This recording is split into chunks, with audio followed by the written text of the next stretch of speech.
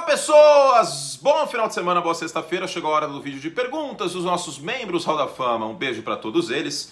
E para você mandar perguntas, basta ser membro Hall da Fama, clica aqui embaixo em Join ou no link na descrição para ser membro e aí escolhe a categoria Hall da Fama para mandar perguntas nesses vídeos que eu faço. Aí agora com a temporada da NFL voltando, vou ter que fazer aí farei de semana em semana.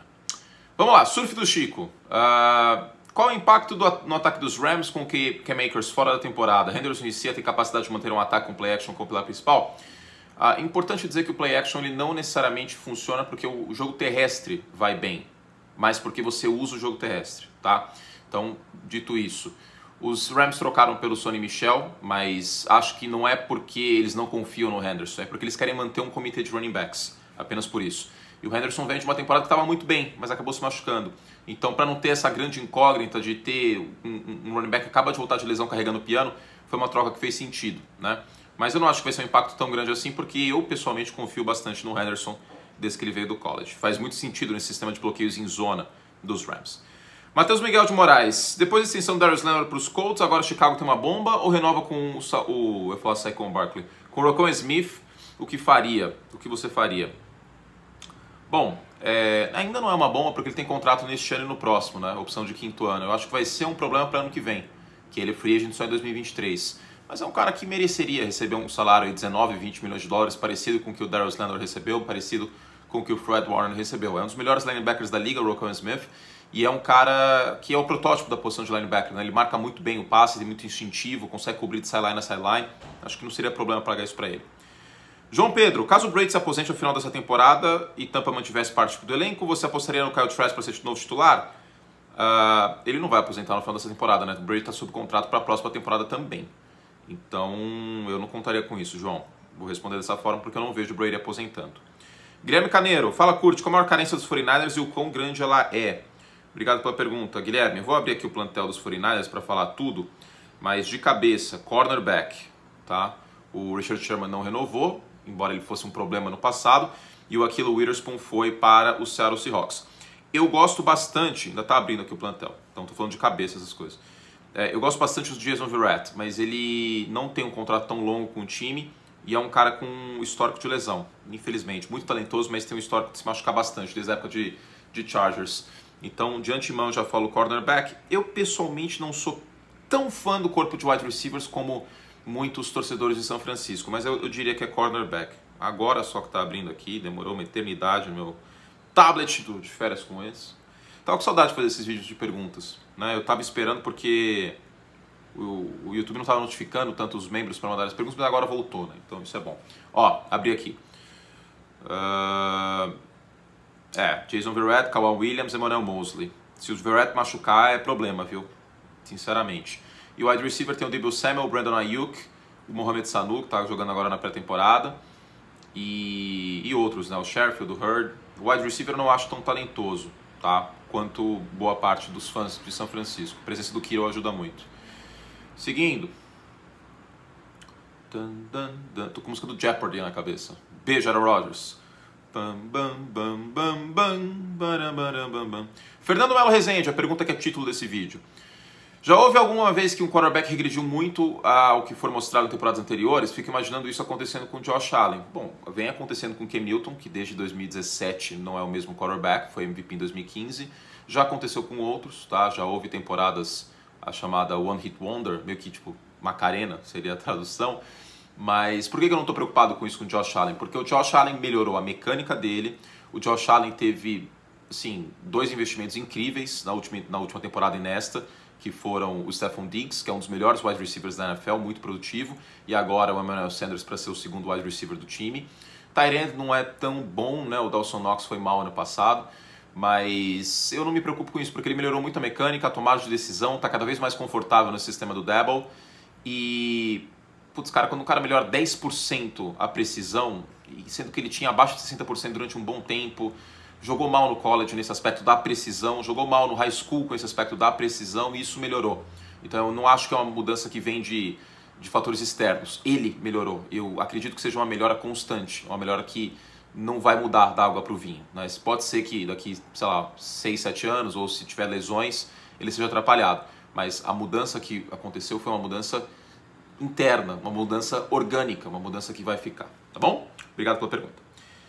Uh, Fábio Rodrigues, salve curte. Agora que o Josh Allen renovou o contrato, quando Lamar Jackson e Baker Mayfield forem renovar, terá uma média maior do que o quarterback dos Bills? Tudo depende do que acontecer nessa temporada, né? Porque, a meu ver, se fosse para renovar, já teria renovado, certo? Teria renovado ou na intertemporada ou na véspera da temporada. O problema é que os dois quarterbacks eles têm algumas doses de incertezas, né? O Baker Mayfield teve aquele jogo contra os Jets, por exemplo. Uh, o Baker precisa mostrar cada vez mais, e vem mostrando no final da temporada passada, mas cada vez mais, que ele não precisa só do jogo terrestre para jogar bem no play action e todo o resto. E o Lamar precisa evoluir como passador.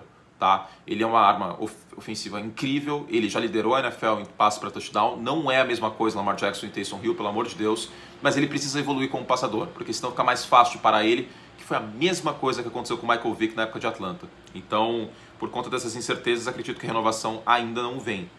Vamos ver. Então, não dá para afirmar também se ele vai ganhar mais ou menos. Uh, Marcelo manda aqui, curte, você vê alguma possibilidade da NFL relaxar as regras de teto salarial, como a NBA, ou mesmo não ter como a MLB? Não, não vejo. Não vejo porque isso aí é da essência da NFL, e se o Jerry Jones, que é o dono da franquia mais valiosa da liga, que é o Dallas Cowboys, topou, os outros vão acabar topando por tabela. A estrutura da NFL pede para um elenco de 53 jogadores que haja teto salarial. Uma coisa é o beisebol com 25, basquete com 12, 14. A NFL com 53 precisa do teto, senão os times fracos vão ficar muito fracos. Tem uma frase do Burt Bell, que foi comissário da NFL nos anos 40 e 50, se não me engano, que é mais ou menos assim: a liga é tão forte quanto seu time mais fraco. A NFL é muito forte porque todos os times nascem a temporada com uma esperancinha que seja de brigar para o playoff. Né? Então, eu acho que não vai acontecer, não vejo isso acontecendo. Matheus Greco, quais seriam bons sleepers para este ano? Sleeper é aquele time que, que é subestimado. Tem os meus palpites em Miami e Dallas. São dois bons palpites. Talvez Dallas não seja tão subestimado, porque Uh, é, é, um dos times mais populares dos Estados Unidos, mas Miami é uma boa pedida. Estou confiando na evolução do Tua, que está passando melhor e mais em profundidade na pré-temporada. Mas acho que dá para colocar o Los Angeles Chargers também. Né? A promessa é que o Brandon Staley arrume essa defesa, fez um excelente trabalho como coordenador defensivo dos Rams no ano passado. E o Justin Herbert, eu não vejo uma ressaca de segundo ano acontecendo para ele, porque ele foi muito bem em situações de estresse, terceira descida e sob pressão. Quando você vai bem nesses quesitos, a tendência é uma continuidade. Então, os Chargers são uma boa pedida também, além desse que você mencionou. Rafael Lemos, quais seriam as unidades mais difíceis de se treinar? Defesa, ataque, por quê? Cara, não tem resposta certa, isso vou dar minha opinião. Eu acredito que seja defesa, porque o quarterback influencia muito no ataque. Se você tem um quarterback de elite, se você tem um quarterback acima da média, sua produção é ajudada. E geralmente você consegue manter seu quarterback por muito tempo. Uma peça no ataque, o quarterback tem muito mais influência do que um edge rusher ou um cornerback sozinho na defesa. As defesas precisam ser treinadas como unidade. Então, quando uma defesa perde um ou dois nomes, ela já acaba caindo de produção. Então, por conta disso, eu diria que a defesa. Tá? Além do fato da defesa ter que ser reativa ao que o ataque faz, né? em, em muitas ocasiões. Então, é, é, seria essa a resposta, mas não tem resposta errada não. Uh, Vini Matsumi, uh, conselheiro curte, boa tarde. Jordan Love evoluiu após a estreia dele na pré-temporada? Então, o problema é que ele machucou, né?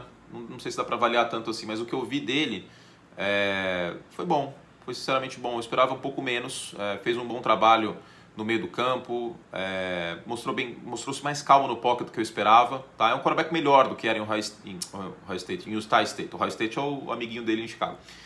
É, mas sim, eu acho que está melhor. Ainda não está pronto, tá? Ainda tem coisas para serem feitas, como eu falei em vídeo mais recente. Mas eu acho que foi uma boa notícia esse, essa pré-temporada do Jordan Love até agora que mais?